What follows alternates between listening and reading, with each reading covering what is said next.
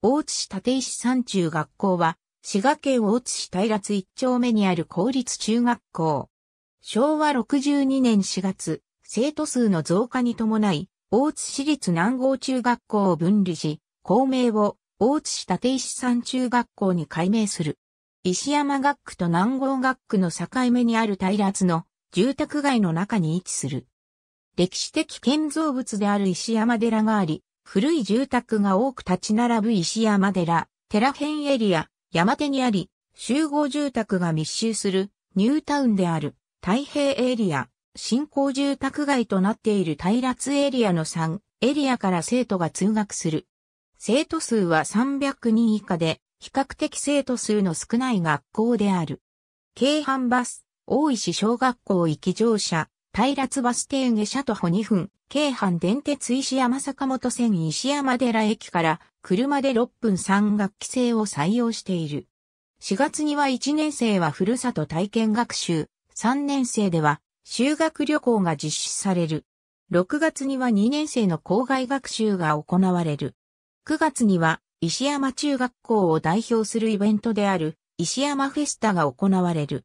石山フェスタは文化の部と体育の部に分かれており、文化の部では合唱コンクールや劇、生徒の美術作品や自由研究が展示される。体育の部では、リレーや大縄跳びなどの団体競技を行う。PTA の協力もあり、模擬店での軽食やジュースの販売も行われる。他にも、福祉体験学習や百人一首大会も開催される。部活動は野球、ソフトボール、サッカー、バスケットボール、バレーボール、卓球、剣道、吹奏楽、美術、科学がある。卓球や剣道、バスケットボール男子などは、大津市や滋賀県の大会でも好成績を残す。大津市の学校選択制により、以下の中学校区から石山中学校へ通うことが可能である。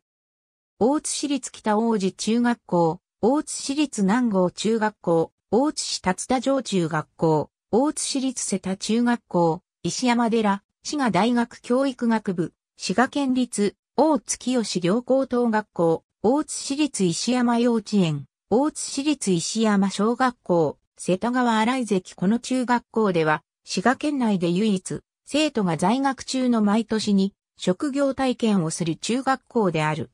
5、5、ワーク石山と称する、この活動は2000年から行われ、全校生が5日間連続して就業体験を行う。この体験活動が導入される背景には、荒れた学校環境を解決策を考える中で、地域の支援により、各生徒の生きる力を育てる狙いがある。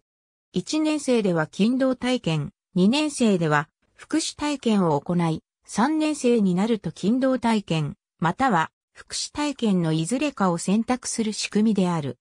通常時の授業でも、この学習を意識した指導が行われ、体験後にも発表会を通じて、経験の着実な学習が促されている。